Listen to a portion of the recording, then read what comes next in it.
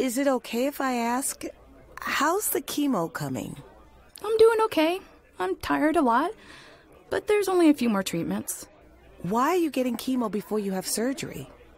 Some clinical trials are done to prevent cancers from coming back. It's a clinical trial. They want to shrink the tumor or make it go away before the surgery. But why go through all that? Studies done to test treatments before the primary treatment for a cancer, such as surgery or radiation therapy, are called neoadjuvant trials. This is done to eliminate or reduce the amount of cancer before surgery. Adjuvant trials are done right after surgery to reduce the chance the cancer will recur or come back. That's scary. Doctors can often identify high risk features in a tumor that make it more likely to come back or spread.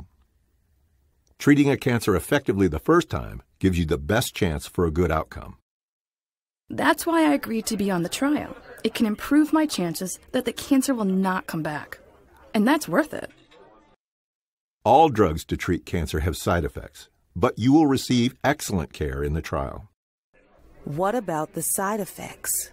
I've got some, for sure, but they're taking good care of me. Clinical trials are done for many reasons and for patients with many types and stages of cancer. How will you know if it works? If the tumor goes away or even gets smaller, mm, that's a good result. Doctors measure these trials by whether the cancer shrinks or disappears completely. I feel better. When I heard you were on a clinical trial, I was really worried. It's not what you think. I'm glad I joined the trial. I'm getting the best possible care. It's for my future.